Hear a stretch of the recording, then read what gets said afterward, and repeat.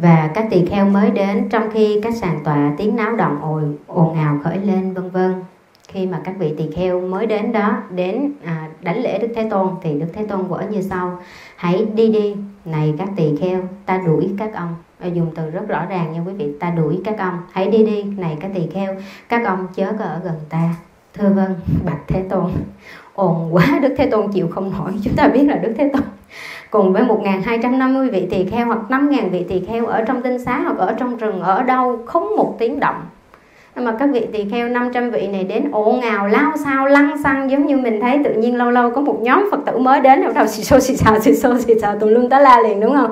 À, thỉnh thoảng chúng ta đang ngồi thiền đang tụng kinh đang ăn cơm chánh niệm mà có một nhóm Phật tử mới đến là chúng ta thấy cũng náo động à. nên tự nhiên người ta bên ngoài người ta không giữ được cái thanh tịnh như vậy. Cho nên sư cô mới ăn cơm ở trong chánh niệm đi kinh hành niệm Phật cũng trong chánh niệm dọn dẹp cũng trong chánh niệm là vậy. Quý vị mà sống lâu trong cái ồn ào rồi á không biết mình đang ồn luôn không biết mình thô tháo luôn nhưng mà người ta sống lâu trong cái định tĩnh rồi, một tiếng náo động cũng rất là làm phiền đức thế tôn.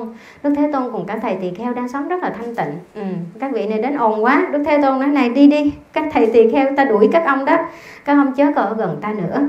Thưa vâng bạch thế tôn. Bị thế tôn đuổi đi thì sao? Chưa kịp ý kiến bị đuổi rồi.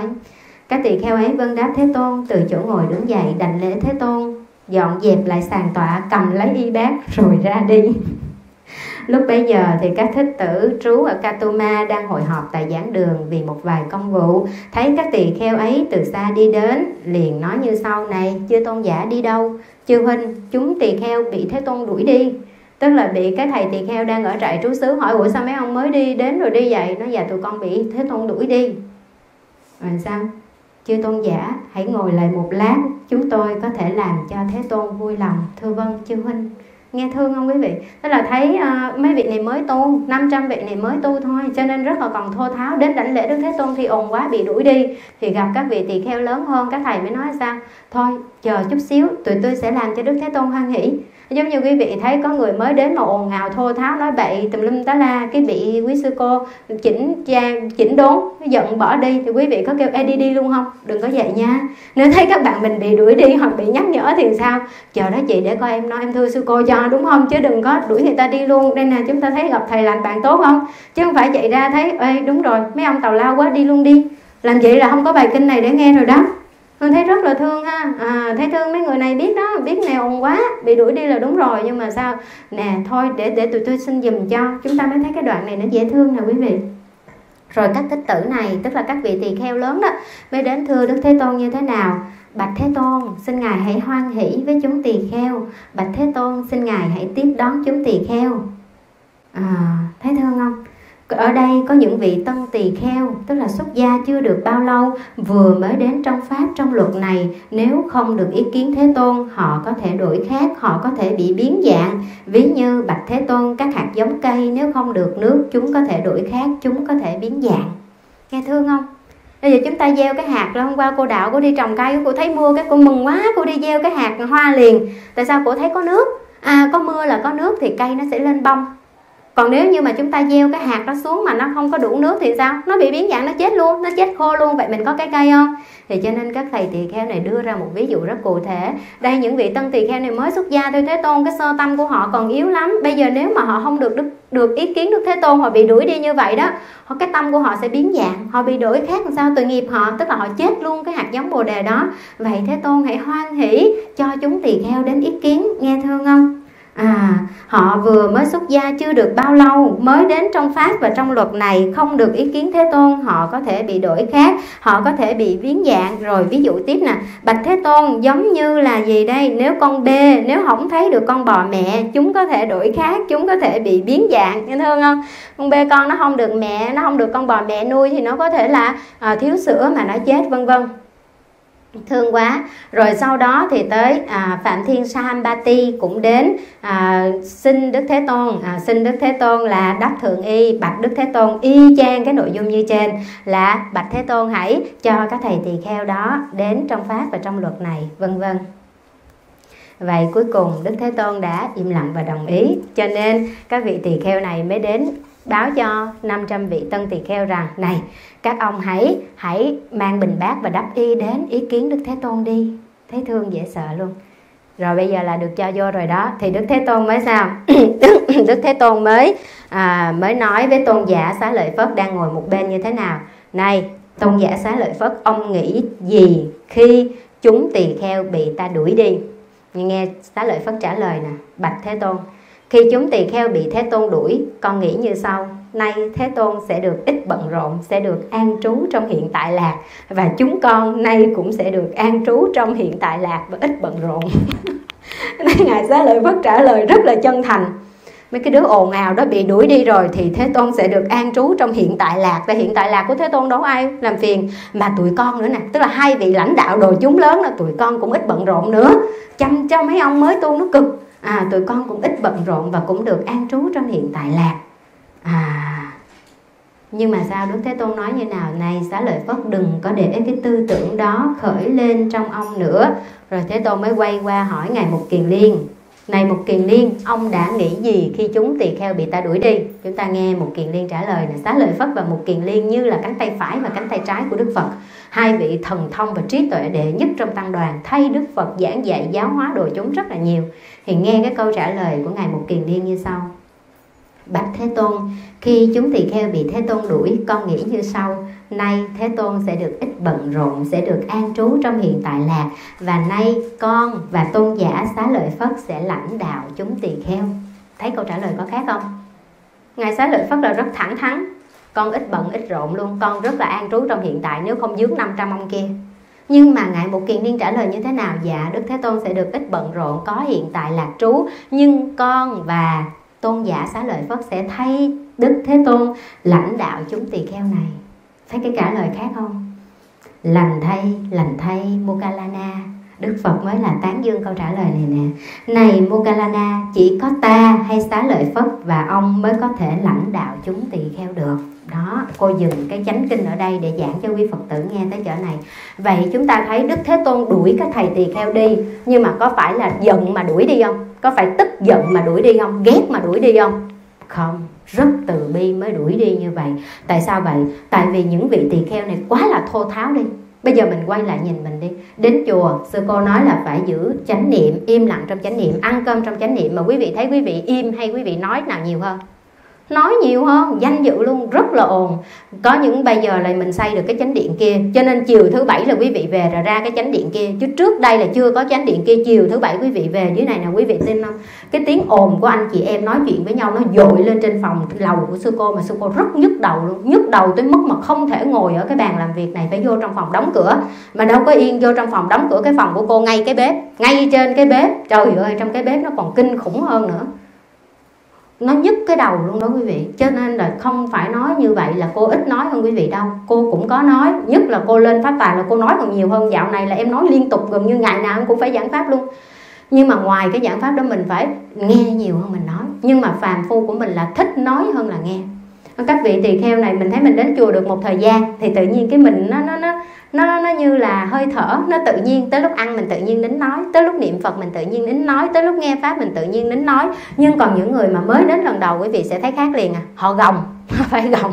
Tại vì cái thói quen là nói, cái thói quen là phải trạo cử, phải nhìn lung tung. Còn bây giờ bắt ngồi im, giống như hồi sáng ngồi thiền đó. Không À rất là nhiều người than với cô này, không biết là đạo tràng mình có không? Cô sao bình thường, con đâu có nghĩ tùm lum đâu. Mà con ngồi thiền bắt đầu con nghĩ tùm lum mà hay là con bị ma? Ma dẫn cho nên con nghĩ ngồi thiền. Không phải bình thường quý vị không nghĩ tùm lum đâu. Bình thường quý vị rất là lạo sao là trạo cử trong cái đầu. Nhưng mà do mình lăng xăng á, cái miệng mình nói, cái chân mình đi, cái tay mình nó múa, nó diễn tả. Cho nên mình không thấy cái ý nó đang chạy trong đầu. Cho nên khi mà cô kêu ngồi yên lại đó, tức là cái thân mình thanh tịnh rồi, mình ngồi im, mình không nhúc nhích, không trạo cử, thậm chí mắt cũng nhắm lại luôn á, miệng mình không nói nữa, lúc đó mình mới thấy rõ cái ý của mình nó đang làm việc hiểu ý không? Chứ không phải là lúc ngồi thiền quý vị bị ma phá cho nên quý vị tưởng tượng tùm lum. Không phải bình thường quý vị cũng tưởng tượng tùm lum mà quý vị không nhìn thấy đó thôi. Cho nên mình mới thấy cái tập khí mình nó cạo bỏ nó khổ cỡ nào. Là đầu tiên khi cô bắt ngồi im thôi có khó chịu không? Rất khó chịu. Bắt cho đi làm ra ngoài ha. Nhổ cỏ nhổ cây làm giường khuyên đá vậy chứ mà nó vui nó không có mệt nó không có mệt. Kêu đi trà nhà vệ sinh nấu ăn từ sáng tới chiều, nấu ngày ba bữa nó cũng không có mệt nha cô. Mà bắt ngồi nửa tiếng đồng hồ im ru rồ nhà trời ơi, nó nhức cái lưng, nó mắc ho, nó ngứa cái chân rồi ôi, luôn á. Đủ chuyện hết, đúng không? Tại sao? Tại vì thích hoạt động hơn là thích ngồi yên. Rồi bây giờ cho ra mà bung ra mà hát múa rồi trời ơi, thôi thà niệm phật hay tụng kinh cũng được nữa mà bắt ngồi yên nó kỳ, nó cục. Nữa nó bắt đầu nó mắc nói ghê chúng ta thấy nó rất là khó, chứ không phải giỡn đâu cho nên sao? Đi tu á, là cất bước đến phương trời cao rộng. Cái phương trời cao rộng này không phải không phải chỉ tới đó mới an lạc, mà trên cái con đường mình đi đó, mỗi cái bước chân đem lại lợi lạc cho chính mình và cho tha nhân. Chúng ta thể thấy rõ cái đường tu nó như vậy đó, mà không phải ai cũng có thể thành công. Cho nên chư tổ mình có một cái hình ảnh ví dụ cho cái người tu á, như bông xoài trứng cá. Quý vị nghe từ này bao giờ chưa? Bông xoài, trứng cá, mình thấy cây xoài một lần nó nở bông là nó bung trắng hết luôn. Nhưng mà nó đậu được, nó đậu được mấy cái trái chứng tỏ là sao nó rớt, nó rụng nhiều hơn là nó đậu. Cho nên nói cái người tu mà xuất gia được, mà ở trong giáo pháp, trong pháp và luật tu hành được vui vẻ đó là không có được bao nhiêu, gọi là rớt đài bịch bịch bịch bịch luôn. Sư cô, huynh đệ của mình đây nè, huynh đệ tăng, huynh đệ đi cũng rất là nhìn thấy đi học sơ cấp, trung cấp, lên học viện, nhìn thấy những người mà đó 10 năm qua còn rớt lại bao nhiêu, còn lại được bao nhiêu, không có bao nhiêu đâu nha quý vị.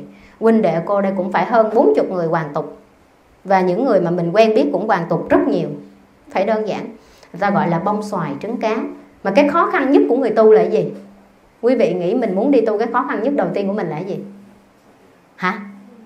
Xa gia đình đúng không? Thuyết phục được gia đình đúng không? Đúng rồi. Mình đưa ra được cái quyết định mà đi tu á, là cái đầu tiên khó khăn. Tại hai ba hai cái chữ xuất gia nó có ý nghĩa gì? Xuất thế tục gia. Đầu tiên phải ra khỏi cái nhà thế tục tức là rời xa vòng tay gia đình. Đó là xuất thế tục gia. Thứ hai là xuất xuất phiền não gia tức là ra khỏi cái nhà phiền não là bỏ tham, bỏ sân, bỏ si, mạng nghi, ác kiến là phải chấm dứt cái phiền não, gọi là xuất phiền não gia cái thứ ba đó là xuất tam giới gia nghĩa là ra khỏi ba cõi luôn. Chữ xuất gia nó cực kỳ lớn rộng. Cái ý nghĩa nó sâu sắc như vậy chứ không phải chỉ ra khỏi cái nhà mình không đâu. Xuất tam giới gia là mình nguyện từ đây về sau không bao giờ luân hồi lục đạo đi ra khỏi ba cõi nè dục giới, sắc giới và vô sắc giới. Cõi trời cũng không thèm lên luôn đó chứ không phải là đơn giản. Cho nên cái chữ xuất gia nó cực kỳ lớn, gọi là xuất trần. Nhưng mà có dễ làm như vậy không quý vị? Ra khỏi cái nhà thế tục thôi, đã thấy chướng duyên rồi. Ôi, má đòi áp lực tự tử, ba má đòi từ mặt tôi nói đủ chuyện. Ngày xưa cô đi tu cũng vậy thôi. Mẹ cô chỉ nói đúng một câu thôi. Cô mà, con mà bước chân đi tu một cái, mẹ chết tại chỗ. Mà sau đó cô suy nghĩ lại thiệt. Chưa có thấy ba má nào tự tử gì con đi tu trơn hết á. Chưa thấy ai chết cho tới bây giờ luôn.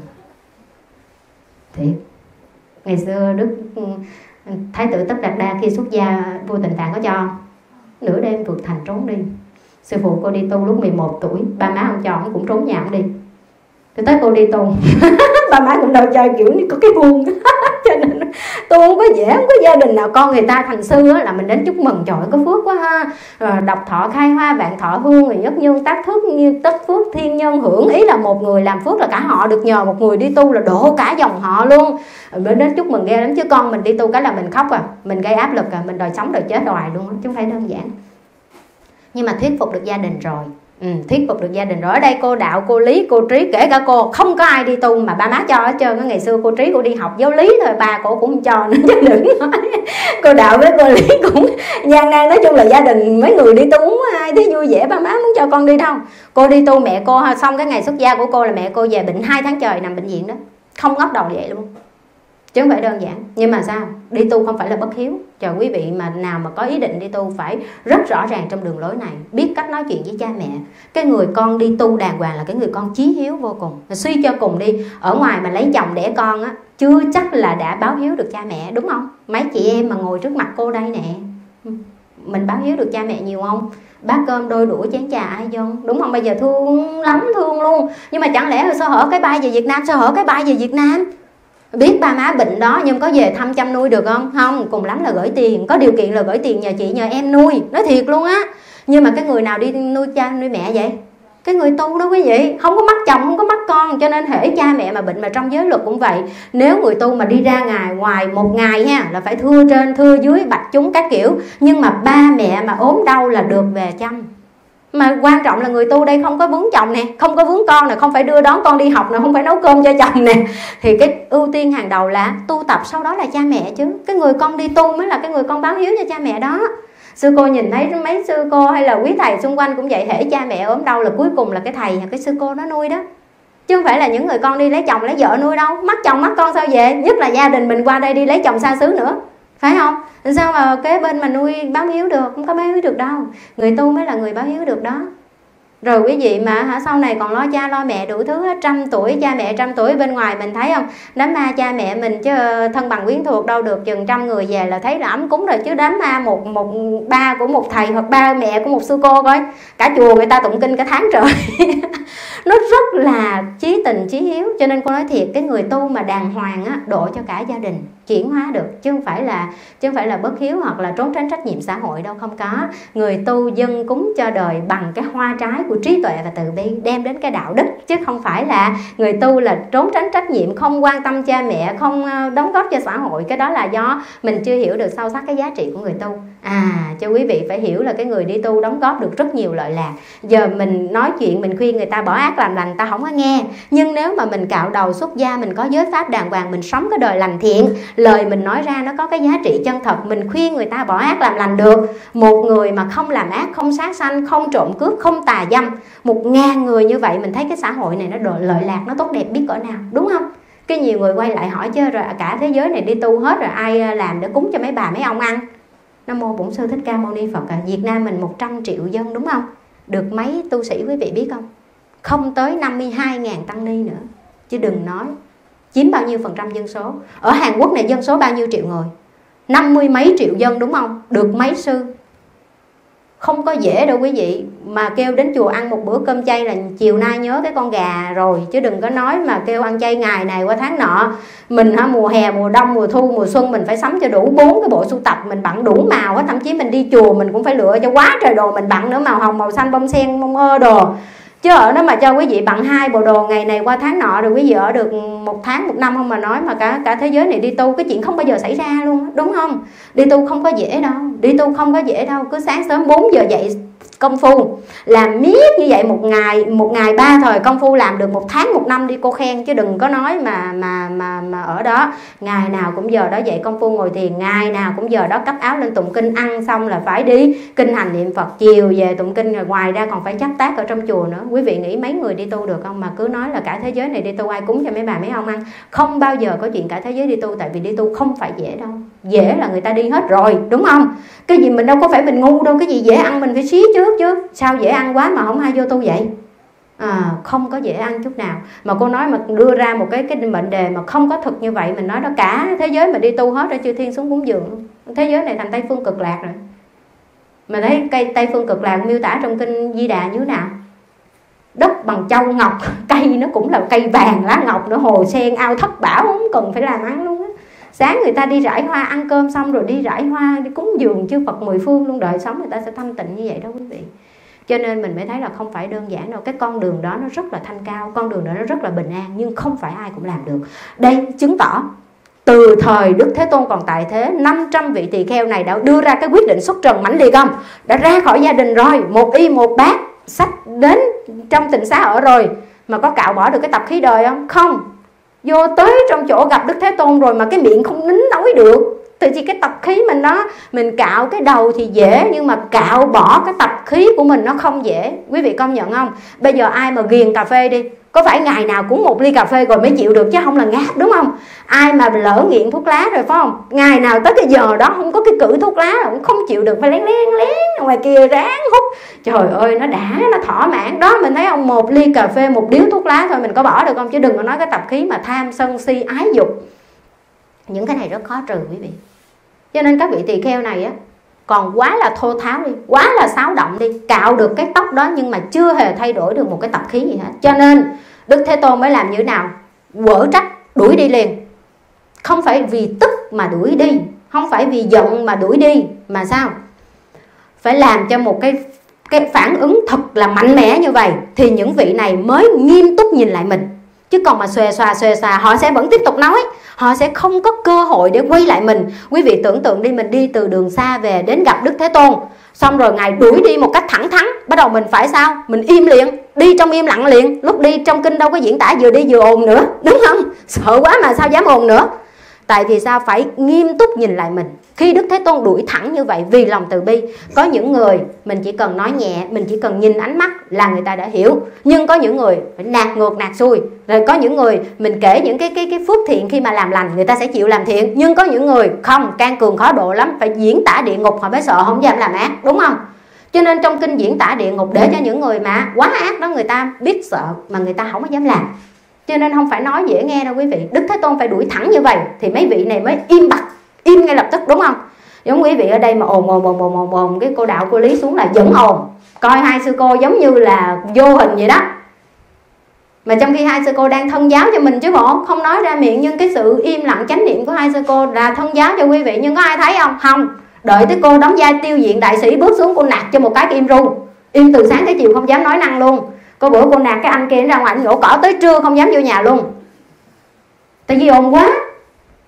Đó là sao? Khi mà mình quá là tha sáo động mình cần cái sự à, mạnh mẽ như vậy. Cho nên đức tu người tu phải luôn cẩn trọng cái ngôn ngữ. Nói này không có phải nghĩa là những người cạo đầu đi tu rồi mới cẩn trọng ngôn ngữ. Quý vị đến chùa có phải cẩn trọng ngôn ngữ không? Đi làm có phải cẩn trọng ngôn ngữ không? Lỡ sơ suất một cái chứ mình nói một ngàn cái lời tốt mình lỡ nói sơ hở một cái thôi. Mà cái đó chưa chắc là do mình có ác tâm nữa. Mình chỉ lỡ lời thôi nhưng mà người ta có bỏ qua cho mình không? Còn lâu, người ta sẽ ghim mình đó. Cho nên cái ngôn ngữ này hết sức là cẩn trọng và phải luôn giữ chánh niệm. Cái gì cần nói mới nói, chứ không phải cái gì cũng nói. Đến đây phật tử đến chùa cũng nói hoài đó, bớt nói lời, bớt nói lời. Cho dù cái lời nói đó là mình hoan hỷ, mình chào mừng người mới đến, mình hòa đồng đi chăng nữa, không cần phải thô tháo như vậy. Chỉ cần mở nở một nụ cười hết sức là từ bi, một ánh mắt hết sức là nhẹ nhàng với cái thái độ điềm đạm của mình, mời người ta ngồi khéo léo rót một ly nước. À ai đi xa về mình thấy lái xe cực mình mời ly cà phê hoặc mình đem cái, cái chai vitamin ra mình mời. Nhiêu đó là thể hiện biết bao nhiêu cái hoan hỷ vui vẻ của mình sẵn lòng đón tiếp phật tử rồi. Chứ không cần phải ở vậy hả chị mới tới hả? Có mệt không? Mà ngồi hai em uống nước không? Mà làm xào xào xào cho nó đau tim đó, đó. Cô mà mỗi lần mà cô thấy đông người là cô rất là mệt. Mệt là do ồn. Cho quý vị phải để ý mình phải sống trong chánh niệm. Cái gì cần nói mới nói chứ không phải lúc nào cũng nói không có gây ra tiếng ồn suốt ngày được, nhất là đến chùa. Khi người ta bên ngoài lăn xăng lao sao người ta chỉ cần bước vô đây, người ta tự nhiên thấy nhẹ nhàng, thanh lương. Đó, cái không khí mà chỉ có trong chùa mới có được, chỉ có cái nơi tu tập trang nghiêm mới có được. Chúng ta xây dựng đạo tràng từ cái bầu không khí trang nghiêm thanh tịnh đó. Cái đó mới là, cái đó mới là cái chúng ta cần chứ không phải mình lăn xăng ồn náo giống cái ngoài chợ được. Bởi cô nói đó, mình đem đạo vào đời, chứ mình đừng có đem đời vô trong đạo. Ở đây mình biến cái chùa thành cái chợ, là nó không ổn, được không? Cái chùa nó phải khác cái chợ. 500 vị tỳ kheo này xuất thân là bà la môn. Cho vào tăng đoàn rồi nhưng mà không quen được cái nếp sống thanh tịnh, yên vắng ở trong chùa à, chúng ta ở nhà ăn cơm là hay nói gấp đèn miếng mời đèn kia mình thấy vậy là hòa hợp thanh tịnh. Chứ mà ăn cơm mà người nào cũng cắm đầu ăn cái mặt xạo vậy là có vẻ như gia đình đó đang bất hòa. Nhưng mà quý sư cô ở đây ăn cơm đâu nói ai tiếng nào đâu. Mà có giận nhau không? Không có giận nhau. Nhưng mà lúc đó mình chánh niệm mình mới thấy cái ăn của mình nó có công đức. À, cho nên là vì phá vỡ cái sự tịnh lạc ở nơi cái tinh xá có đức phật và những vị tỳ kheo khác cùng cư ngụ. Cho nên là đức phật mới quở như vậy đó. Nhưng mà quở không phải là ghét không có giận dỗi. À, nhưng mà không cho họ ngồi nghe pháp như vậy để có cái tác dụng tích cực hơn. Trong cái việc mà bắt họ phải phản quan tự kỷ sửa mình và làm mới mình chúng ta phải thấy cái lòng từ bi của đức phật và cái trí tuệ của đức phật đối với cái hội chúng này cần cái phương pháp giáo hóa như thế nào. Chứ đức thế tôn không có giận dỗi. Cho nên cho nên các cái thích tử Katuma là những người tu hành lâu năm hơn đó, mình gọi là thấm tương trao hơn á. Hiểu ý Đức Thế Tôn không? Cho nên mới khuyên quý vị này là sao? Quý vị phải cố gắng làm cho Đức Thế Tôn hoan hỷ. À quý vị phải cố gắng ở lại để mà được cái cơ hội diện kiến với Đức Phật, để được cái cơ hội đảnh lễ tham vấn và được nghe Đức Phật giáo hóa. Thì mới lợi lạc trong đời tu. Chứ các ông lăng xăng nói nhiều như vậy rồi Đức Phật nói các ông có nghe không? Không, đúng không? À rất là không. Cho nên cái người mà đang nói, cái người hay nói nhiều, cái người hay bị cảm xúc chi phối á, thì rất khó mà định tâm. À chúng ta đi chùa chúng ta phải học sửa mình từng chút như vậy. À, mình phải học sửa mình đừng có để cho cái cảm xúc nó bị chi phối. Mà thật sự cô thấy nha em nào ít nói là cái hành vi của em nó ít sai. Em điềm đạm ừ, điềm đạm bản lĩnh bình tĩnh thì là ứng xử không có thô tháo. Cô về Việt Nam ở chung huynh đệ. Quý thầy lớn thì ông nói có chú tiểu nhỏ trong chùa.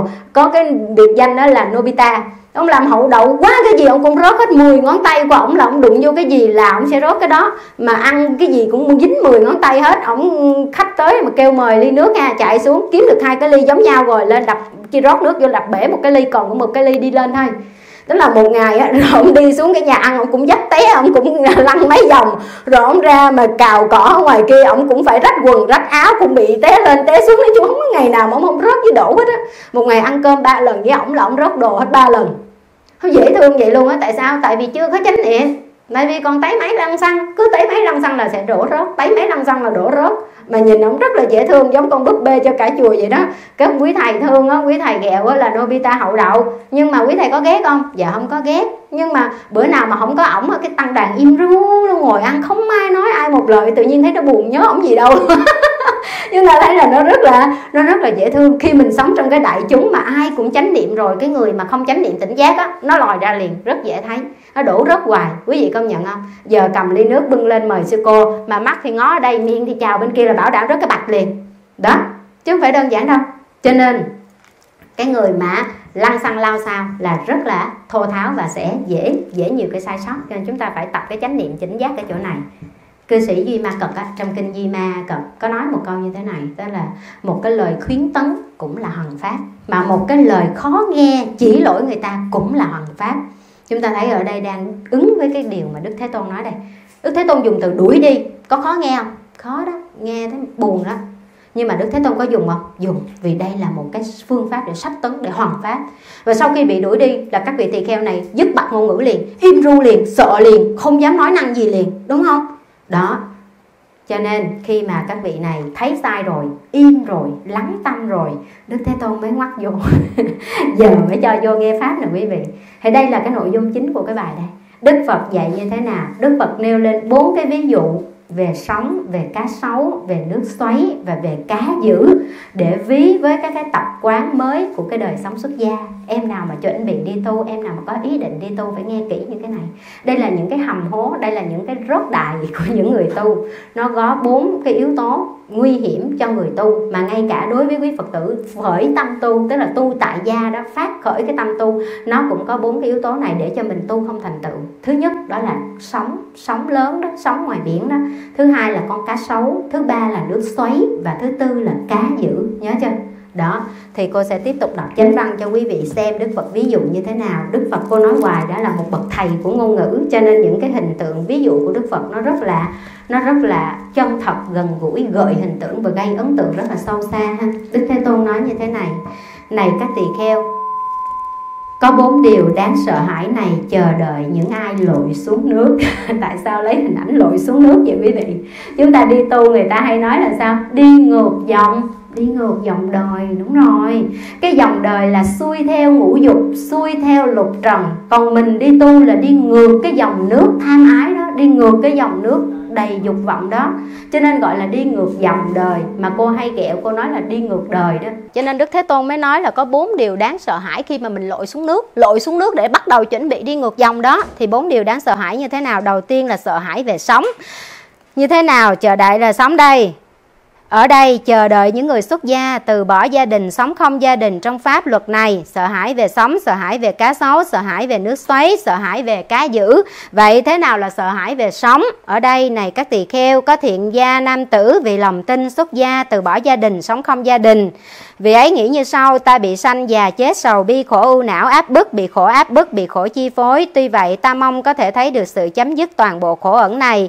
Khi được xuất gia như vậy, vị này được các hành các vị đồng phạm hạnh giảng dạy và khuyên giáo. Ông cần như vậy, ông cần ra đi và về như vậy. Ông cần phải ngó tới như vậy, ông cần phải ngó quanh như vậy. Ông cần phải co tay như vậy, ông cần phải duỗi tay như vậy, vân vân và vân vân. Vì ấy, suy nghĩ như sau. Trước kia, chúng ta chưa xuất gia, chính chúng ta giảng dạy, khuyên giáo người khác. Những người này giống như con chúng ta, giống như cháu chúng ta, lại nghĩ rằng cần phải giảng dạy chúng ta, cần phải khuyên giáo chúng ta, vân vân. Người này từ bỏ sự học tập trở về hoàn tục, được gọi là người bị sợ hãi bởi sự sợ hãi về sống. Quý vị nghe hiểu gì không? Không. Đúng rồi, nói chân thành đi. Ví dụ một mình mình không hiểu thì quê, chứ cả xóm đều không hiểu mình đâu lấy gì quê đâu. Ngôn ngữ kinh văn nó khó hiểu như vậy đó. Đó là lý do sao cô ngồi đây đọc kinh cho quý vị nghe, quý vị hiểu ý không? Thật ra ngày xưa trước khi cô đi tu á, cô đã từng nghe sư phụ cô giảng nguyên cái bộ kinh này rồi, cô không hiểu một cái gì hết chứ không phải là dễ nghe đâu quý vị, cho nên cô mới phải ngồi đây giảng cho quý vị nè. Đọc kinh không có hiểu đâu, nguyên cái bài dài này, nội dung chính yếu là gì? Tức là mình đã xuất gia rồi, mình biết là sống trong đời nè, sầu bi, khổ u, não sanh già, bệnh chết, chi phối, đúng không? Nhận thức được rõ ràng chúng ta đang bị chi phối bởi những cái khổ đó đó, nên em mới quyết định đi tu. Nhưng mà vô đi tu thì sao? Vô đi tu thì sao? Là bị những vị thầy lớn dạy lại oai nghi, thấy không? Giống hôm qua có em đi xuất gia đó, quý sư cô khuyên đó, đi tu không có sướng nha em. Vô là em sẽ bị người ta soi cả chùa soi em. Hễ cái sơ hở nói nín động tĩnh, cất bước chân đi, cái phơi cái áo, cái quần, cái tắm, cái giặt, cái đôi dép, cái gì cũng bị chỉ hết á. Tại sao?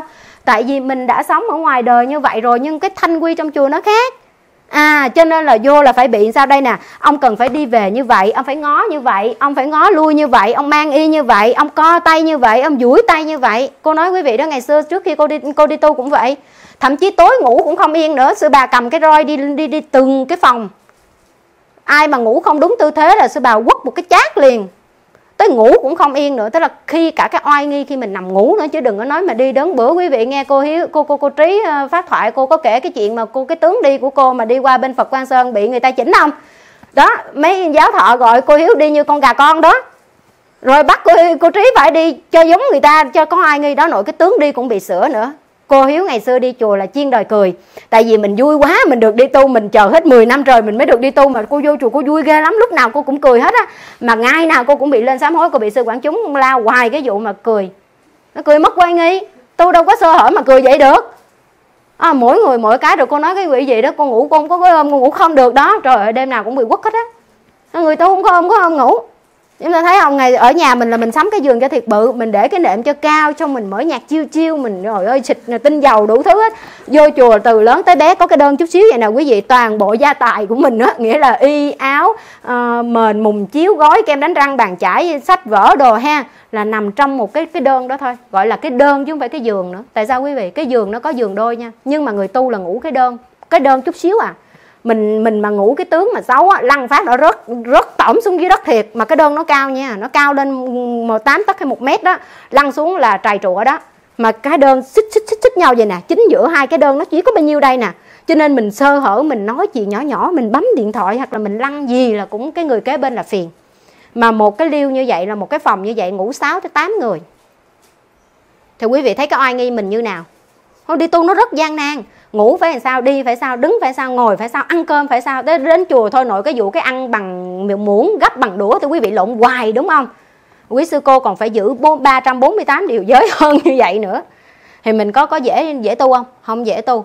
Nhưng mà mình vô cái mình bị chỉnh nè, em phải đi như vậy, phải nói như vậy, phải ngồi như vậy, phải đi như vậy, phải nằm như vậy, bận áo phải như vậy, đắp y phải như vậy, mang dép phải như vậy. Bắt đầu quạo à. Hỏi bữa đi tu là cất bước tới chân trời cao rộng nha. Mà bên ngoài mình học giỏi mà, mình đi nước ngoài về mà, mình bằng cấp cao mà. Mình địa vị nhiều, mình có tiền nữa. Vô tự nhiên mấy người này chỉ điểm lại mình. Mình khó chịu, cho nên mới nói là sao?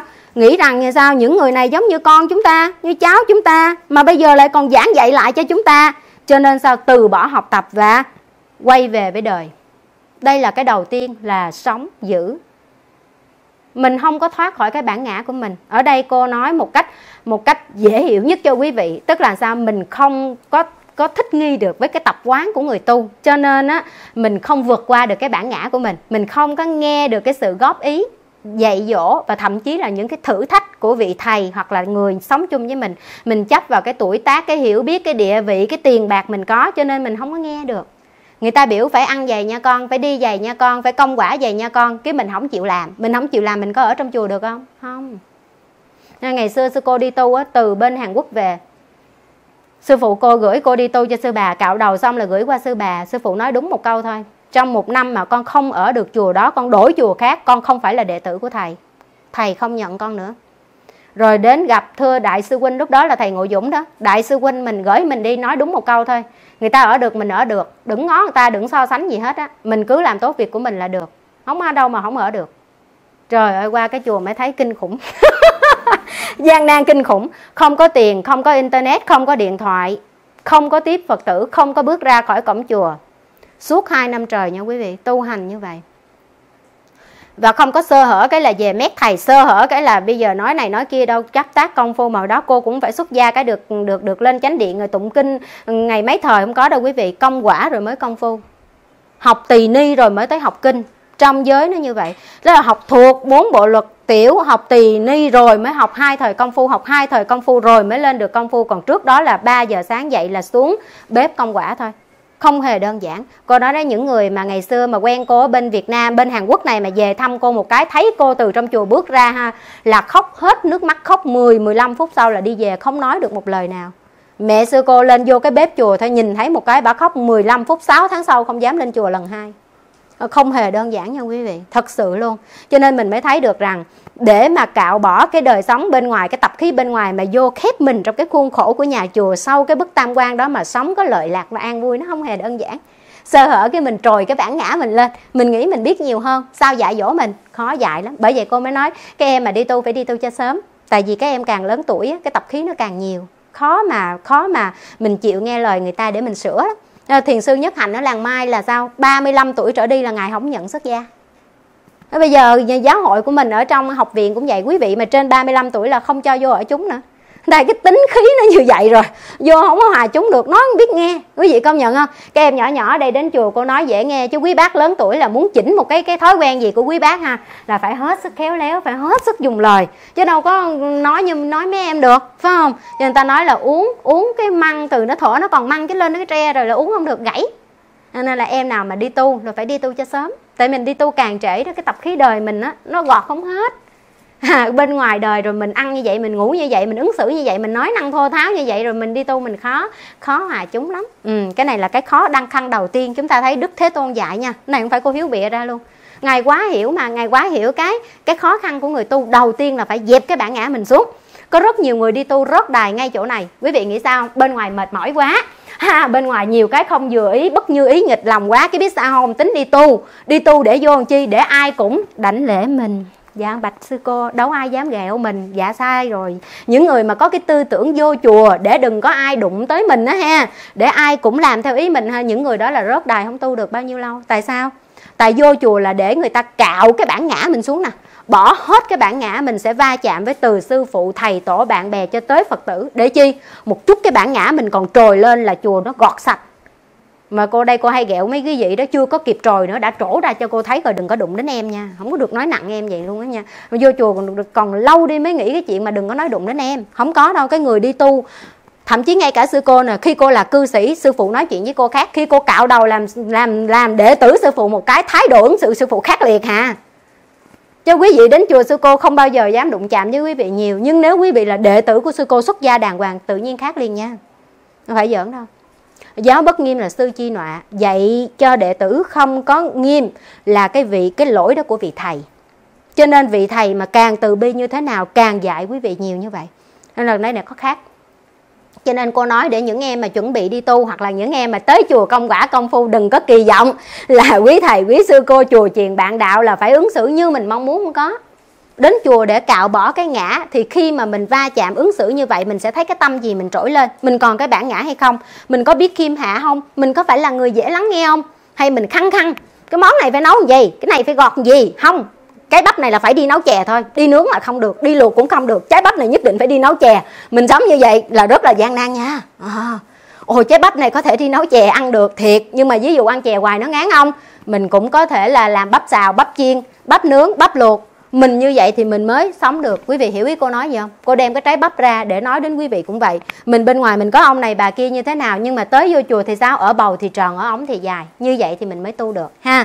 Chứ còn mà mình muốn cả chùa ứng xử như mình là không được. Rồi, cái thứ hai, ví dụ như là những nước xoáy, nước thế nào là sợ hãi về cá sấu. Đúng rồi, cá sấu. Cá sấu là gì đây? Cá sấu là đây.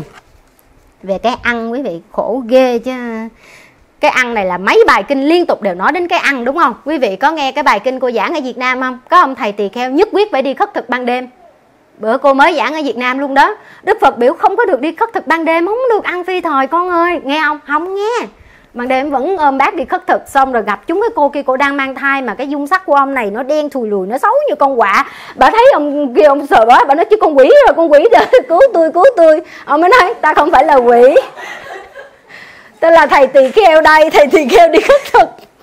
Mà bà sợ hết vía rồi, bà nói, cha tỳ kheo, mẹ tỳ kheo, ông nhất định phải đi khất thực ban đêm hả? Ông già chết người ta thà ông chết đói luôn đi ông đừng đi ban đêm. Bà sợ quá, bà té, bà sảy thai không có gì bà tưởng bà gặp quỷ đó. Một câu chuyện nghe rất là là bi mà nó hài, đúng không? Nó dọa cho người ta sợ sảy thai luôn, người ta mà còn cái niềm tin với tam bảo không? Ông nhất định ông phải ăn giờ này hả? Ông thà ông chết đói đi, ông đừng có đi dọa người. Chứ tôi thấy ông, tôi tưởng như quỷ rồi, ông chửi tới cha thì kheo mẹ thì kheo luôn. Ông xấu hổ quá quý vị. Từ đó về sau là về ông nghĩ không bao giờ đi khất thực ban đêm nữa. Ông nói, bạch đức thế tôn, đức thế tôn, nhờ không có khất thực ban đêm, nhờ không ăn phi thời mà hiện tại lạc trú. Đâu có bị chửi như vậy? Quý vị thấy công nhận không? Mà có dễ bỏ không? Không, nội cái ăn nó cũng không bỏ được nữa đó. Giờ vô chùa tu, cô nói không có được ăn chiều trời ơi, nó đói lắm cô, nó tụt huyết áp, đêm ngủ không có được, nó sốt cái ruột vậy cái gì cũng phải nếm hết á, cái gì cũng phải ăn, không có ăn đúng thời, rồi chưa kể nữa, sơ hở là ăn, sơ hở là nhóp nhép mà ở trong chùa đâu có sơ hở nhóp nhép được cái gì ở trong chùa không ăn vặt, chúng ta nhìn thấy cô đạo, cô lý, cô trí ở nhà có ăn vặt không? Không luôn đó nha. Sư cô thấy thương quý sư cô quá, đi đi mấy tuần liền. Mà quý vị biết là nhà mình chưa có ai có bằng lái hết, cho nên cô đi một cái là quý sư cô không có ai đi chợ hết mà cô về Việt Nam cô bận quá, cô đâu có hỏi thăm hoài được, đâu cứ một tuần hỏi, chị ơi, chị còn đồ ăn không? Không, ở ngoài giường nhiều đồ ăn lắm em, chùa không có thiếu gì hết, rồi có ai chị có cần nhờ Phật tử đi chợ không? Có em, ở nhà có đồ ăn mà. Rồi cô về thương quá, đi thiệt là ba tuần lễ cô đi là ba tuần lễ quý sư cô không hề bước ra chợ, có xe đâu mà đi. Là ở ngoài giường có cái gì là ăn cái đó đó quý vị, mà có ăn nhóp nhép nhóp nhép suốt ngày không? Không luôn, đúng bữa, ăn một ngày có hai bữa thôi nhưng cô về cô thương quá đi, cô mua trái cây nè, cô mua bánh mì nè, để từng qua đến hôm nay hôm kia luôn. Trong tủ lạnh còn nguyên quý sư cô, ngoài giờ ăn chính thức mà mà cái mâm quý vị dọn lên á, là không ăn một cái gì nữa. Thấy ghê không? Nói cô cô trí cái là về chiều cái cổ không ăn luôn, đúng không? À, cô đạo cô lý mà ăn là cũng phải ăn trước 7 giờ, ăn trước giờ tụng kinh, đúng không? Ăn sau giờ tụng kinh cũng ngủ không được. Là sao? Mà phải quen vô cái nếp đó. Nhưng mà mình mới đi tu mình có được vậy không? Không trời ơi tới chiều là nó mắc đói rồi. Tới chiều nó mắc đói với lợi đi ngang cũng thấy cái này cũng bốc lửm. Đi mở tủ lạnh sơ hở là mở tủ lạnh kiếm cái gì ăn? À, cái tập khí của mình. Mà đi tu có được vậy không? Không đi tu là không ăn phi thời. Không ăn phi thời mà không ăn chiều nữa à, nhưng mà mình mình sao mình xuất gia rồi nhưng mà mình lại thèm thuồng cái hưởng thụ cái khoái lạc mà mình đã từng được như vậy đó. Mình biết cái ăn vặt nó ngon với bộ ăn đêm nó có cái thú vui của nó. Tự nhiên đêm cái mình nướng bắp nướng khoai nướng trứng mà đêm cái mình làm cái gì bánh tráng trộn đồ có nó hấp dẫn đúng không? À, quý sư cô ban đêm có có có tụ tập lợi ăn vậy không? Không. Ban đêm người tu mới tụ tập lợi ăn vặt vậy. Ban đêm người tu phải hành thiền. Cho mình thấy nhiêu đây khó chưa khó đó, chứ không phải nói là mấy ông bà ờ, mấy ông thầy bà cô ngồi không, ngồi mát ăn bát vàng cho người ta cúng. Dạ vô đây, tu được em cúng dường lợi. Dễ đâu mà ngồi tụ tập ban đêm mà ngồi ăn. Không có chén thú, chén anh như vậy ha. Tức là sao? Cái gì được phép nhai cái gì không được phép, cái gì ăn chúng ta cũng phải ăn, cái gì được phép ăn, phải nhai, cái gì được phép nhai, phải nếm, cái gì được phép nếm nha. Cái gì đúng thời chúng ta ăn, cái gì phi thời cái gì đúng thời chúng ta nếm, cái gì đúng thời chúng ta uống. Khi các gia chủ có tính tâm cúng dường, chúng ta những món ăn thường vị loại cứng, loại mềm. Hình như các món ăn ấy đang bị chận đứng lại trên miệng, tức là đi tu rồi, mà thấy, ủa, người ta tới cúng rồi đó. Mà mà giống như món ăn nó bị chận đứng lại trên miệng, đức thế tôn không có cho ăn. Chứ không phải cái gì cũng được ăn. Vậy thì sao? Vị ấy từ bỏ học tập và trở về hoàn tục. Cái này nói nói nghe kỳ cô, trời ơi, gì đâu mà tham ăn cô. Nhưng có người đã không tu được vì ăn đó quý vị sư cô có một uh, một sư đệ đi vô xuất gia rồi 3 tháng trời rất là dễ thương cái gì cũng giỏi hết. Duy nhất một cái chuyện là không thể ăn chay được mà ra đời. Sống chết không ăn rau được. Thì nhất quyết phải không ăn phải ăn thịt mới được. Bây giờ ở ngoài đời là cái chị cái cái cái cái vị đó là cũng 30 tuổi rồi nhưng mà chưa từng ăn chay một bữa nào hết. Vô chùa cái gì cũng làm tốt hết đó. Công phu, công quả, tụng kinh, cái gì cũng làm giỏi hết. Duy nhất một cái chuyện là ăn không được. Ổng vô chùa có một tháng, hai tháng gì thôi mà ổng sụt 15 kg ổng không có biết ăn chay. Rồi cuối cùng là trụ không được nữa, đi suy dinh dưỡng dữ quá rồi. Mà năn nỉ ổng uống sữa, ăn trứng cũng được, ổng cũng không luôn đó. Và cuối cùng ra đời. Tức là sao? Đó là sợ hãi về cá sấu. Tức là mình tham tham ăn đồng nghĩa với chữ tham ăn. Đi tu cái đầu tiên quý vị bỏ hồi nãy cô nói là bỏ cái ngã cái thứ hai là bỏ tham cái tham đầu tiên đó là tham ăn. Giờ mình thấy bên ngoài mình còn thích nhiều món quá. À, mình nhớ đủ thứ hết. Nay là phải à, bún riêu bún bò bún quế à, rồi chả lụa bánh canh rồi cúc quay nướng rồi. Nói chung mà mình làm một ngày mình làm một tuần một tháng mà menu mình nó không trùng lập á mình có quá nhiều cái thích về đồ ăn á. Tối ngày mình coi múc băng á tối ngày mình coi mấy cái kênh mà làm đồ ăn á trời ơi là gian nan lắm. Đi tu gian nan á nha. Cô khuyên mấy bạn nào mà tính đi tu á là mình bớt coi một băng lại. À mình bớt coi mấy cái người mà làm món ăn lợi. Vốn dĩ không có tính ăn đâu. Tự nhiên nó khởi tâm hiểu không? Cái mắt nó thấy sắc nó sinh tâm. Hồi nãy mình không có tính ăn chè nhưng mà hồi nữa bưng lên chén chè trời ơi là nó hấp dẫn tự nhiên cái mắt ăn chè ngang vậy đó đúng không? À, cho nên là chúng ta bớt coi mấy cái kinh về thức ăn lợi. Tại vì nếu mà càng coi á, mốt càng không có bỏ tham ăn được. Khó nha. Đi tu là phải giảm cái ăn đầu tiên, quý vị biết tại sao giảm cái ăn nữa không? Cái này nó liên đới với cái dưới nè. Ăn nhiều quá đó, nó dư chất đó, nó sẽ sinh dục. Ăn thiếu chất một chút á, chúng ta sẽ kiềm chế được, còn là control được, quản lý được cái dục vọng của mình. Khi mà cơ thể mình nó sung mãn quá đó, rất khó tu nha cho nên đó là lý do các chùa không cho ăn chiều các chùa không cho ăn sang các chùa không cho ăn no là vậy. Thậm chí cô biết rất là nhiều thiền viện mà quý thầy mà trẻ trẻ nhiều quá ha là cái vị trụ trì đó tối ngày bài công chuyện để làm. Nay thì bưng cái đá này từ bên này qua đây nó mốt bắt dời cái tượng này từ kia qua lợi. À, rồi trồng ruộng trồng ơ rồi nói chung một ngày là chấp tác là phải 8 9 tiếng đồng hồ. Chi vậy? Tiêu hao bất năng lượng. Khi mà mình có quá là nhiều cái năng lượng và dưỡng chất dư thừa đó mình sẽ sanh dục vọng cho nên người tu là phải giảm ăn. Từ cái giảm ăn mình mới giảm được cái dục vọng của mình xuống. Quý vị hiểu không? Ừ, cho nên ở đây á là đi tu không có ngồi không đâu nha. Cho nên cái đầu tiên của người tu mình đi tu đó là giảm cái ăn. Tu không có ngồi không tu làm rất là nhiều. Sư cô về việt nam có mấy bữa thôi. Là trừ những cái buổi thuyết pháp giảng kinh là đều ra nhổ cỏ chấp tác với lại quý thầy quý chú quý cô ở trong chùa. Làm quần quật từ sáng tới chiều làm toát mồ hôi hột không phải làm như vậy. Làm như vậy mình vừa có cái công đức tại mình công quả.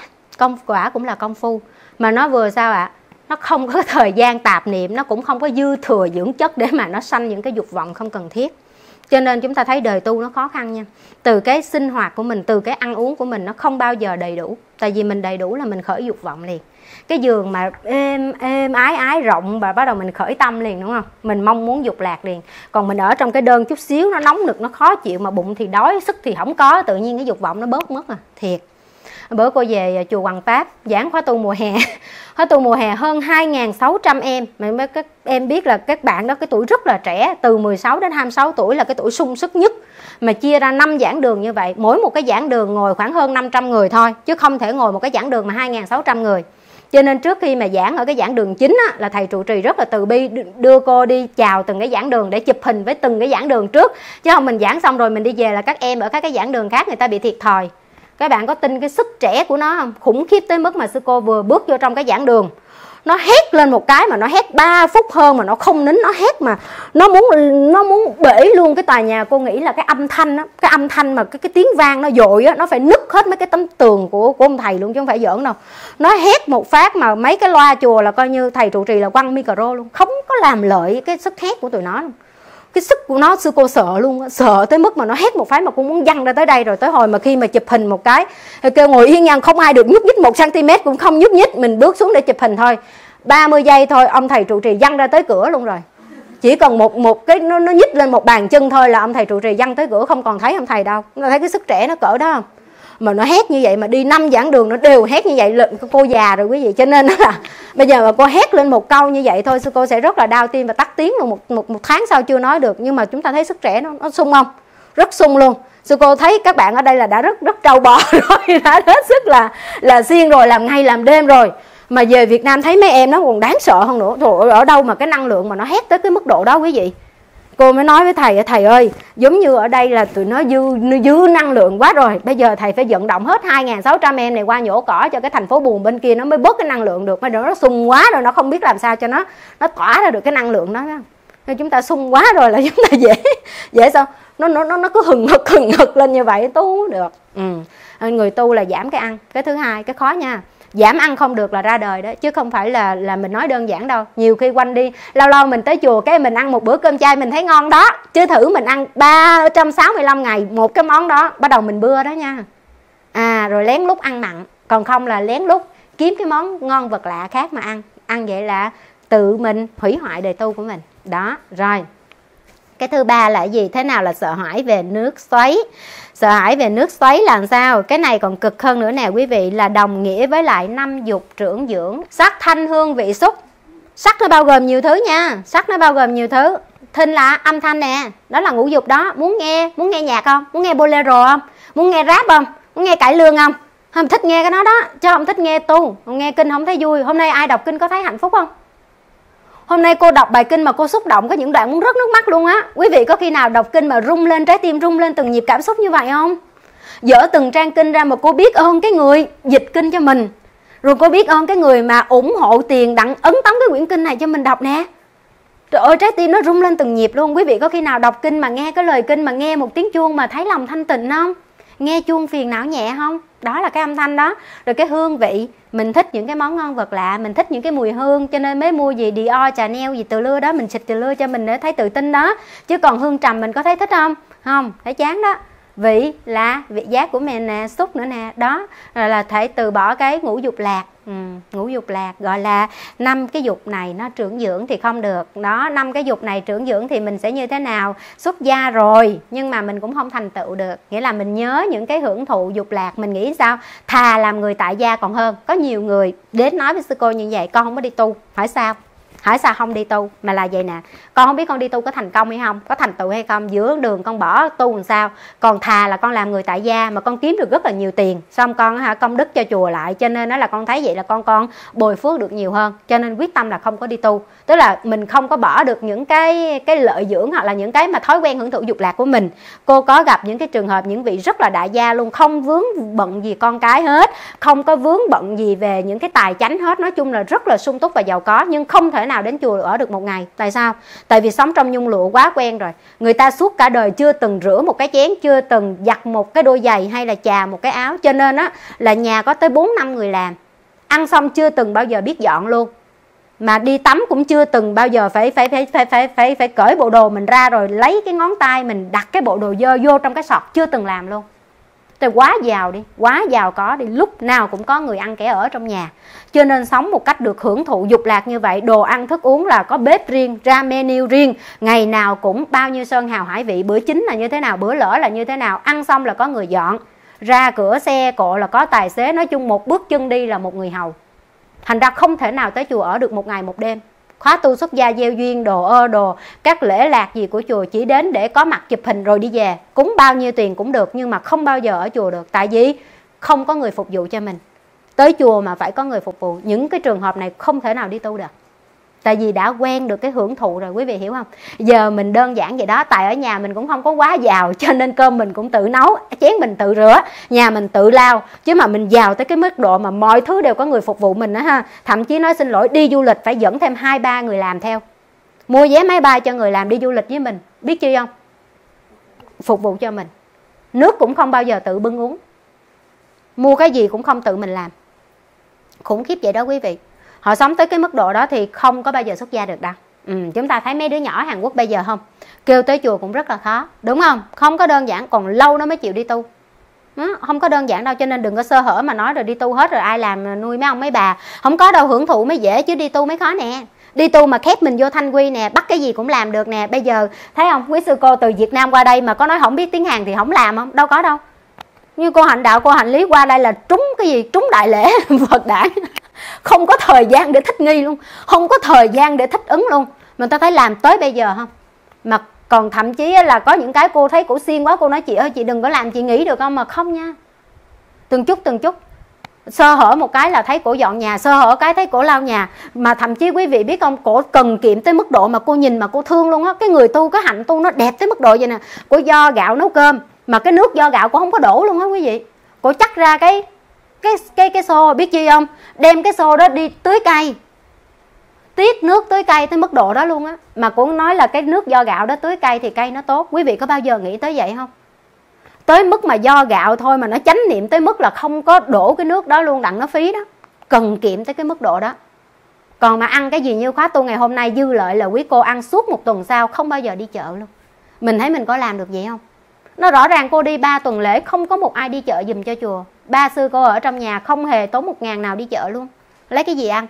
Ra vườn có đọt bầu là hái đọt bầu, có đọt rau muống hái đọt rau muống, có trái cà là ăn trái cà, chứ không phải nói là cà chua này ăn một tuần lễ rồi ngán rồi phải đi mua cái thứ trái cây khác cho chị ăn, không có luôn á. Thấy thương không? Mà cô thiệt sự cô thấy vậy luôn á rồi ha. Giặt cái già, giặt đồ ơ đồ ha, để dành lợi nước, để dành lợi nước mà xả đồ đó chi biết không? Đặng trà cái nhà vệ sinh để chà cái nhà vệ sinh không có tốn nước nữa. Quý vị có nghĩ đến từng chút từng chút cái đất đó không? Còn giờ mình là đâu rảnh lắm mà. Xả nước ra một cái là tha hồ. Khăn giấy khăn giấy ướt đồ xài vô tội vạ. Ly cốc giấy đồ xài vô tội vạ. Tại vì mình có tiền mình mua được mà. Nhưng mình không biết được những cái đó nó ảnh hưởng cho ô nhiễm môi trường. Mấy ngàn năm sau, cả triệu năm sau nó còn chưa phân hủy được mà cô nói trong chùa mình là cô rất hạn chế các em xài ly giấy, cốc giấy, rồi các bạn mà đổ rau câu, rau ơ, đồ cô khuyên á, đổ vô cái khay inox cắt ra mà ăn, đừng có đổ ra mấy cái chén nhựa đó. Nó mua không có bao nhiêu tiền. Rồi mấy cái bịch ni lông nữa, tại sao bán hàng tạp quá mà cô cứ không cho bịch ni lông vậy? Mấy người nói cô ơi hết bịch rồi, hết bịch rồi, cô đi mua đi, một ký bịch ni lông có mấy ngàn đồng ha nhưng mà một ký bịch ni lông đó mấy trăm năm sau nó có tiêu hủy được không? Nó hủy hoại môi trường. Sư cô không bao giờ mua bịch ni lông hết á. Bạn nào mà có xe là cô bỏ vô trong cái thùng giấy rồi bưng ra xe giùm cho luôn biết chi không? Đặng đỡ tốn bịch ni lông. Cô không có tiếc cái bịch ni lông mà mình kiểm đứt từng cái chút đó đó quý vị. Nó nó rất là mà chúng ta có sống được như người tu không? Hay giờ mình đến chùa mà không có cái ly giấy mình cũng thấy khó chịu rồi. Mình vô nhà vệ sinh mà không có cái cái cái cái giấy chùi à, là mình bực bội rồi. Bởi vậy cho nên mới cúng quá trời cúng kìa. Cúng giấy vệ sinh mà cúng mà chất ngập cái cái nóc chùa cô luôn. Trong khi đó cái đó cũng là phí vậy đúng không? À, mình thấy không mình tiện nghi riết rồi đó. Mình sống như quý cô được không? Không được, cho nên mình đừng có chửi mấy ông thầy bà cô ngồi không ăn. Mình chưa chắc ngồi không ăn được vậy luôn á. Ngồi không ăn phải kiệm đức dữ lắm quý vị. Bên ngoài mình chút chút chút chút đó mình rất là thoải mái, phải không? Nhưng mà người tu không có thoải mái được vậy. Mình thấy rõ ràng không? Vô mà không bỏ được cái tập khí đời là ra đời liền à, quý vị đến chùa cũng vậy dù thiếu một chút nóng một chút à rồi có gì chút chút chút ăn đói một chút dở một chút không sao hết trơn. Mình tập dần dần đi ha. Mình tập kiệm cái đức này thì cái năm dục nó mới không trưởng dưỡng được. Thì mình à, mới à, mới thành tựu cái đời tu mình. Chứ còn mình không bỏ được cái cái hưởng thụ dục lạc không đi tu được không thể nào đi tu được. Rồi cái cuối cùng nè rồi nghe để nghĩ nè. Là cái cuối cùng là cái quan trọng. Đó là sao? Nó là um, cá giữ cái này nó nhiều cái vấn đề cái hồi nãy á, là không có dễ từ bỏ cái đời sống tiện nghi hưởng thụ những cái mình đang có đúng không? Cái tiện nghi cái dục lạc mình đang có mình không từ bỏ được. Nhưng còn tới hồi đi tu rồi từ bỏ cái tiện nghi đó được rồi nhưng mà mình không trau luyện cái đạo đức cái đạo phong cái oai nghi từ cái tiểu oai nghi cho tới bắt đầu thực tập cái thanh tịnh cái thân cái khẩu cái ý này thì mình sẽ mất đi cái sự kiểm soát được các căn. Quý vị hiểu không? Rất dễ mất đi sự phòng hộ các căn nghĩa là mắt, tai, mũi, lưỡi, thân ý mà mình không kiểm soát được nó đó. Mình không giữ được oai nghi đó. Mình sẽ mất thanh tịnh liền. Cái thân này không thanh tịnh, cái ý của mình không thanh tịnh, cái lời mình nói ra nó sẽ không thanh tịnh. Và ở đây đặc biệt cái giữ đức phật nhấn mạnh cho tới cái dục ái. Cô vẫn nói đi nói lại, khổ nhất của người tu, khó nhất của trong đời mình là dục ái quý vị. Chính đức phật đã nói, nếu có một cái thứ hai trên đời này mà như dục ái nữa thì không một ai có thể chứng thánh quý vị thấy khủng khiếp. Cái sợi dây cuối cùng để cho mình mãi mãi là phàm phu không thể chấm dứt sanh tử luân hồi, đó chính là cái tham ái, tức là quan hệ giới tính xác thịt đó. Ở đây cá dữ là biểu hiện cho người nữ, những người nữ trong kinh là khi thấy phụ nữ y phục không đoan chính hay y phục lộ liễu, dục tình phá hoại tâm của vị ấy bởi vậy cô mới khuyến khích quý phật tử nữ đi chùa phải kể cả quý phật tử nam. Đối với quý, quý người nữ thì sao? Đối tượng sẽ là người nam đúng không? Cho nên cô nói vô chùa ăn uống đi đứng nói năng gì cũng bận cáo tràng vô. Chứ vậy? Đừng có lộ liễu cái y phục đừng có khêu gợi. Nhiều khi quý thầy ta chưa tu có thanh tịnh ta bình thường ta đã bỏ được rồi. Nhưng mà sao? Thấy cái sự khiêu gợi trước mặt là dục tình nó nổi lên.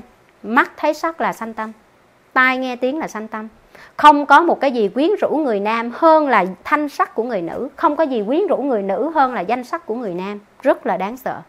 Không có coi thường cái đoạn này đâu quý vị. Rất nhiều người rớt đài ở cái chỗ này. Đi tu 10 năm 15 năm, tự nhiên cái là rớt đài. Bây giờ mình thấy chồng mình vậy đó, mình có bỏ được không? Không nha. Tối ngủ không có chồng là thiếu hơi, không ngủ được nha. Rồi bà vợ mình đủ thứ vậy đó. Nhưng mà rồi mình có bỏ được không? Không, tại bà đẹp quá, yêu tiếng nói của bà. Em đi, em đứng, em ngồi. Thế gian này không có hai người như em mà cho nên bà ví dụ là bà thế này thế kia mình cũng chịu được luôn á. Thì là sao vậy? Tại vì tha mái đó, tại vì thương rồi đó, tại vì thương rồi cho nên nó bị dính đó nó dính không có bỏ được đó. Có nhiều người đến đây khóc lóc quá, trời cô ơi, trời ơi, ảnh phụ bà con, ảnh ảnh có bồ nhí nữa rồi cô. Thì ở đây là đứa bồ nhí thứ mấy con đi bắt ghen rồi. Mới rồi sao? Mà cô có cái cách nào, có cái bùa nào để cho ảnh bỏ con bồ đó về lại với con không cô? Tức là biết chồng mình ngoại tình, biết chồng mình là lan chạ biết chồng mình không có chung thủy với mình mà bỏ là không có đành. Bỏ không có đành. Thậm chí biết vợ mình ngoại tình luôn, nhưng mà cũng bỏ không đành. Tại sao vậy quý vị? Tại cái này nè, cái này khó nha. Đối với quý vị ở ngoài, gia duyên ràng buộc giữ được chánh dâm là may mắn lắm rồi. Nghĩa là chung thủy một vợ, một chồng với người mình thương là đã khó khăn rồi. Nhưng đối với người tu thì sao? Khởi cái ý dục lên cũng không được. Cái này rất là quan trọng. Đa phần rốt đài cũng ở chỗ này tu không thành tựu cũng rớt đài ở chỗ này. À, nhiều vị rất là đàng hoàng mà thậm chí quý thầy mà càng hảo tướng là càng bị ừ, ma đăng già vô rước ra nữa. Bứng về làm chồng. Vô chùa thấy ông thầy dễ thương là bứng về làm chồng. Ngộ bên ngoài biết bao nhiêu trai đẹp không cô? Đi vô chùa là bứng thầy về làm chồng. Kỳ cục vô cùng. Ở Hàn Quốc này cũng gặp rất là nhiều nha. Cô gặp rất là nhiều sư rất là tài ba rất là dễ thương rất là hảo tướng tụng kinh hay thuyết pháp giỏi gặp mấy đại tiểu thư, con của đại biểu quốc hội tới chùa là bứng về làm chồng luôn. Sắm cho cái chùa, anh cứ làm sư đi nha, anh làm chồng em. Bất phụ như lai, bất phụ nàng. Ghê không? Ghê lắm. Mấy đơn giản không cho nên nó là mất cái kiểm soát từ các căn. Đây với cô nói là phòng tình khi tâm chưa loạn động. Em nào mà tính mà đi tu rồi đó. Hết sức cẩn trọng cái này. Đức phật dạy cho người tu nhìn người khác phái từ cái mắt cá bàn chân trở xuống đây là cái giới của người tu, cho nên quý vị đừng có trách cô là sao cô không nhớ con. Cô không bao giờ nhớ ai, tại cô có nhìn mặt thẳng ai bao giờ đâu. Hôm chứ hôm qua cô không đeo mắt kiến, cô còn lộn cô lý với cô trí luôn. Cô đạo với cô lý sinh đôi thì lộn, ta còn chấp nhận được đi. Cô trí với cô lý mà cô nhìn không ra luôn quý vị. Cho bây giờ mắt nó cũng mờ rồi đó. Mà nhiều khi cô thấy cái sự mắt mờ của cô nó có cái ưu điểm lắm nha. Chứ bây giờ nhìn đâu có ra mặt nó nó ngồi trước mặt cô mà nó cứ nhòe nhòe ra vậy nè. Cô đâu biết nó đẹp trai hay xấu trai đâu. Phải không? Cho nên nó cứ mà muốn, hôm qua vậy con bé đâu rồi, con bé Lan Phương đâu rồi. Hôm qua con bé Lan Phương nó ngồi nó dạy nó dạy tiếng Hàn cho hai sư cô mà cô ngó nó vậy nè, mà cô muốn dán hai con mắt nó nhưng mà cô không nhìn ra nó luôn đó nước mắt nó chảy luôn. Ừ. Mà nhìn không có ra. Cho nên là quý vị mà đi tu rồi á, tập bớt nhìn nhìn đối tượng khác phái. Không có phân biệt tướng chung, tướng riêng. Không có nhìn đối tượng khác phái nhiều. À thương hồi nào không hay? Thiệt phải hết sức để quý anh chị em đi chùa cũng vậy. Ví dụ mà mình có chồng rồi mình có người yêu rồi. À, thấy ừ, đi chùa vậy thôi. Thấy mấy em nó dễ thương vậy thôi. Nói chuyện vậy thôi. Nhìn là không nhìn thân là không thân. Biết tại sao không? Cái tình cảm á mà nó nó bùng lên như cái lửa rơm rồi á là nó xìu xuống nhanh lắm. Nhưng mà cái tình cảm mà nó phát triển từ cái tình mà huynh đệ anh em mà bạn bè trời ơi nó cứ từng chút từng chút một. Ta nói nhất cự ly nhì tốc độ gần gũi một hồi nó nảy sinh tình cảm hồi nào mình không hay à có một cái câu nói rất là hay là bạn chưa có thương người đó là tại vì bạn chưa có trải đủ cái thời gian nói chuyện với người ta. Nhiều khi sao ạ? À, người ta nói lại gì? Cứ cứ nhìn nhìn nhìn lâu là nhìn lâu lâu là nó tự nhiên nó phát sinh tình cảm. Lúc đầu mình nhìn mình có tình cảm nhưng mình qua lại hồi là mình thấy người ta dễ thương. À mình mến mến. Ừ, từ thích thích thành thương thương á. Rồi tào lao luôn. Ừ. tới hồi mà mình mà phát triển cái mối quan hệ mà nó nó nó nó nó nó nó nó nó, ngược với cái quan hệ ấy rồi thì mới phát hiện ra dạ đây cũng có gia đình kia cũng có vợ con rồi. À, là phá hoại hạnh phúc hai gia đình hai bên. Cho nên cái này phòng tình khi tâm chưa loạn động. Ở chùa cũng vậy ở chùa mình được cái là toàn trẻ không à ít người già tới chùa lắm luôn. Nên cô nói rồi đó từ đầu mình xác định cái đối tượng đó mình không có yêu mình không có lấy nha. Mình chỉ qua hàn quốc mình du học một thời gian mình về nha. Nào cô mình kệ mời đi chơi hồng. Tặng quà không lấy. Chứ đừng có lờ đờ nước hến cho lòng tương tư mấy anh lao động qua đây là cũng có tiền nè rồi không có vợ con bên cạnh nè. Nhiều khi cái nhu cầu mình cũng nổi lên vậy. Thấy em gái đó dễ thương ngoan ngoãn dễ thương bắt đầu là mời đi uống nước nè mời đi ăn kem nè mời đi chụp hình nè mời đi chùa công quả nè mời hồi rồi hai người mời về nhà với nhau luôn. Ừ.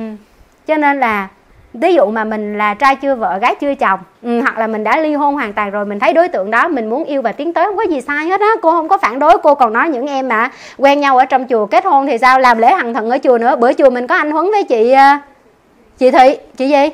Chị thúy đúng không? Dễ thương không? Cả chùa đi đám cưới luôn. Ai cũng hoan hỷ hết, tại trai chưa gọi giấy, chưa chồng mà hai người lại đồng đức, đồng thí, đồng trí, đồng tín nữa. Cho nên hai vợ chồng đến với nhau cả chùa tôi chúc phúc, hai chùa chúc phúc luôn. Dưới chùa thầy trung đạo chúc phúc, trên này đàn gái cũng chúc phúc nữa. Phải không? Rất là vui. Đó, những cái trường hợp như vậy thì đến với nhau bằng chánh tính bằng cái tình yêu chân chính như vậy, mình làm lễ hằng thuận ở trong chùa như vậy, nó có cái kết quả viên mãn. Còn nếu mình đã có gia đình rồi, mình phải hết sức cẩn trọng. Còn người tu phải cẩn trọng hơn nữa cho nên các em mà tới chùa mà bị sư cô xa lánh á, đừng có phiền cơ sư cô. Rồi đến mà chụp hình rồi chụp ơ rồi skin ship với cô ôm ôm nựng nựng mà cô tỏ thái độ, quý vị đừng có phiền não dùm trời, em nhạy cảm nhất cái vụ mà ôm ôm ở đây, em bốn sư cô ở trong chùa thân nhau lắm thiệt. Huynh đệ em thương nhau lắm mà không có ai đụng nhau hết trơn á. Hỏi coi cô có bao giờ ôm cô đạo cô lý không? Kỳ muốn chết, ngủ còn mỗi đứa một giường nữa chứ ăn cơm cũng giữ khoảng cách chứ. Cho nên quý vị mà tới chùa mà có thương mến quý sư cô lắm thì chắp tay chào thôi chứ đừng có xà nẹo xà nẹo. Được không? Nó có cái giới của người tu, nhất là các em khác giới nữa là càng phải giữ khoảng cách với quý sư cô. Đó, cho nên là mình cẩn trọng cái này. Các em đi chùa nào cũng vậy. Hôm nay hữu duyên đi chùa với cô không sao. Bữa sau đi về việt nam mà đi chùa thầy tăng. Có bu bu bu bu quý thầy không? Giữ khoảng cách cho quý thầy tu. Giờ hiểu không? Đời tu nó khó lắm nha cho nên phòng tình khi tâm chưa loạn động em nào mà chuẩn bị đi xuất gia phải đề phòng cái này càng nhiều càng tốt. Không phải giờ. Rồi hết bài.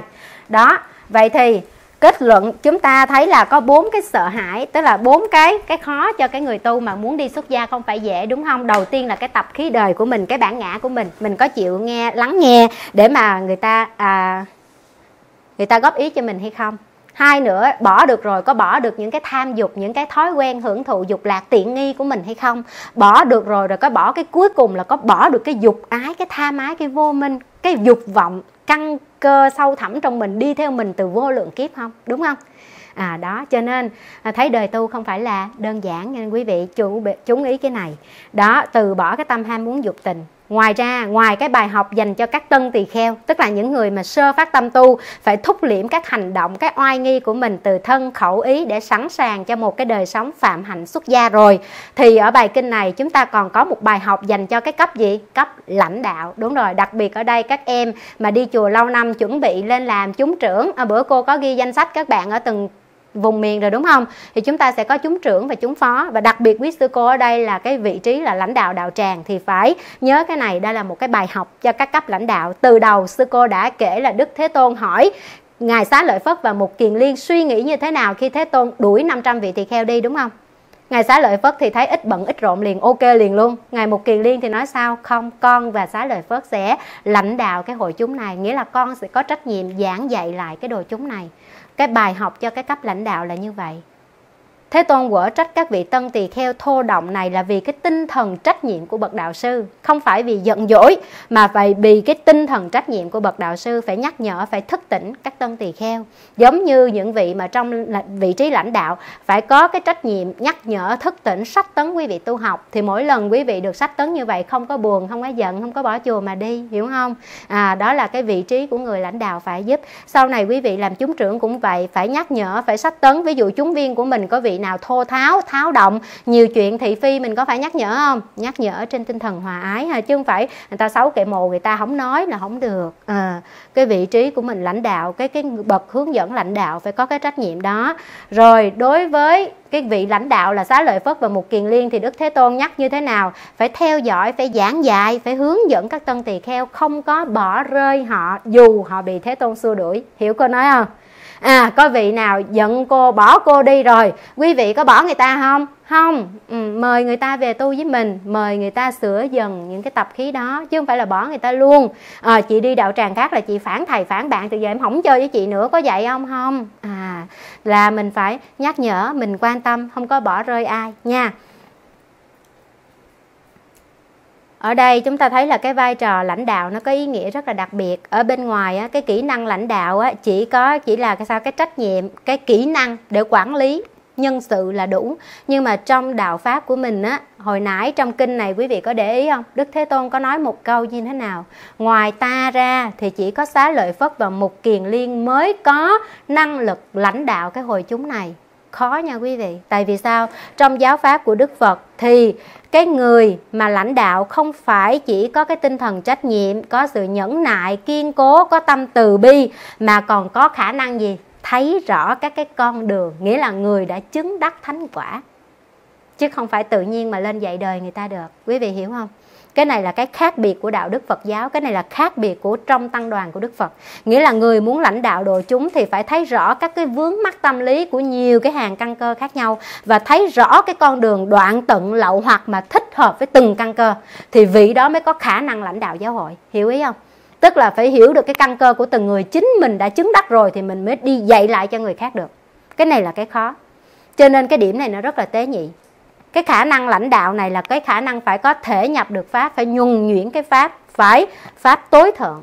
Cho nên, quý vị nào mà quyết định đi tu là mình làm bậc thầy của trời người, không phải đơn giản. Quý vị phải học phật cho nó chân thành, học Phật cho nó bài bản, không có vội vã, không có lật đật. Tại quý vị sẽ là người lãnh đạo, hiểu ý không? Phải giảng dạy lại cho Phật tử lãnh đạo đồ chúng. Sau này còn có tăng ni du học, tu học với quý vị. Cho nên cái bậc mà lãnh chúng á, rất là khổ ha. Cái bậc lãnh chúng là từ cái oai nghi của mình từ cái đức độ của mình cho tới cái con đường mà học Phật và tu Phật đó là học và hành á nó phải đi đôi với nhau. Chứ không thể là chỉ học giỏi không mà mình không có hành pháp thì mình sẽ không có năng lực lãnh đạo hội chúng. Chúng ta nhìn thấy các gương của các ngài trưởng lão hòa thượng không? Tu giỏi như vậy rồi đồ chúng đông như vậy rồi mà quý ngài luôn có cái khoảng thời gian 3 năm 6 năm quý vị nhập thất tu hành để chi quý vị? Để để nâng cái tầm tu chứng của mình lên đó. Chúng ta thấy là sao hòa thượng trúc lâm mấy năm trời vô nhập thất ở trên núi cao không? Rắn rết cọp beo chó sói gì nó đi ngang mà nó quỳ xuống nó lại nó nghe pháp rồi nó đi. Hòa thượng nói nếu hòa thượng không có chứng đắc trong tâm linh hòa thượng vĩnh viễn không bao giờ ra hướng dẫn tăng ni nữa. Ghê chưa? Có những người hòa thượng như vậy. À, chúng ta thấy như là thầy bây giờ là thầy đạo trưởng của chùa Hoàng Pháp đó trước đây thầy trụ trì đó. Thầy nhường cái chức trụ trì đó cho đệ tử. Thầy đi nhập thất 3 năm liền luôn thầy từ chối hết mọi cái hoạt động hành chánh để chi? Thầy tu cho thầy. Thầy tu cho thầy để thầy thấy cái đạo là cái tu chứng đó để thầy sao? Hoàng pháp độ sanh. Cho nên cái vị trí của một cái vị lãnh đạo nó rất là quan trọng ở chỗ này. Tại vì mình không thể nói mà mình không hiểu phật pháp là gì. Đó. Cho nên quý vị thấy rằng cái con đường mà, cái con đường mà đi tu á, nó không hề đơn giản, đúng không? Đó. Và cô còn rất nhiều rất nhiều cái gương của quý thầy, đại đức trẻ bây giờ mà vừa rồi về Việt Nam cô có kịp tiếp xúc đó quý ngài còn rất trẻ thôi, nhưng mà ở vị trí trụ trì, quý ngài đã sẵn sàng nhường lại nhường lại rất là nhiều cái công việc hành chính cho cho đệ tử. Để chi? Để tìm cái con đường tâm linh. Mình chứng đắc cho mình mình trải nghiệm tâm linh, rồi mình mới giảng dạy lại cho người. Cái này là cái khó của người tu. Hy vọng rằng những em nào mà có ý định đi tu, chúng ta phải xác định được rõ vì sao mình đi tu. Vì mình nhận thức được rõ cái vấn đề của xã hội này là sanh già bệnh chết sầu bi khổ ưu não. Mình sẽ không bao giờ ra khỏi cái này nếu mình vẫn còn ở đời. Cho nên mình mới cất bước đến chân trời cao rộng để giải quyết được cái sanh tử của mình, để làm lợi lạc lớn cho đạo pháp và quần sanh, chứ không phải là bi quan, yếm thế, trốn đời, lánh xã hội. Không phải. Đi tu có dễ không? Không dễ chút nào. Nhưng đi tu có an lạc không? Vô cùng an lạc. Khi chúng ta từ bỏ được, chúng ta bỏ tất cả, sẽ có tất cả mình có cái đó là có được cái niềm vui cái hạnh phúc cái an lạc trong chính cái đời tu cái nhiệm màu trong từng thời khóa công phu. Cái lợi lạc lớn khi mà mình đem cái hoa trái công phu tu tập của mình dâng hiến lại cho đời. Cho nên cái đời tu là cái đời rất là đẹp. Cô hy vọng là em nào vẫn còn chưa có vướng mắc gia đình ở cái tuổi trẻ mà mình có cái ý nguyện ý chí xuất trần thì chúng ta mạnh mẽ quyết chí đi xuất trần. Bởi vì các em sẽ đóng góp rất lớn cho đạo pháp và cho quần xanh à, đây là những cái à, gọi là ươm mầm trí tuệ. Tại vì mình còn đời sống gia đình mình còn đời sống thế tục và dục ái không không bao giờ mình chứng đắc được thánh quả tối thượng. À, cho nên con đường học Phật là con đường không chỉ có đạo đức thế gian tức là mình có an lạc hạnh phúc ngay bây giờ và tại đây mà phải đạo đức xuất thế gian là mình chuyển hóa được phiền não à, tham ái. Cái đó mới là cái rốt ráo của cái người tu học Phật. Hy vọng rằng đây cũng sẽ là một cái uh, lời sách tấn động viên cho những em nào có ý nguyện xuất gia hoặc là đang còn uh, băn khoăn trăn trở không biết đi tu có làm lợi lạc gì cho đời không thì mình sẽ nghiêm túc nhìn nhận lại cái giá trị của người tu và cái đời sống tu hành nó sẽ có được những cái lợi lạc cái ý nghĩa như thế nào để mình quyết định ha.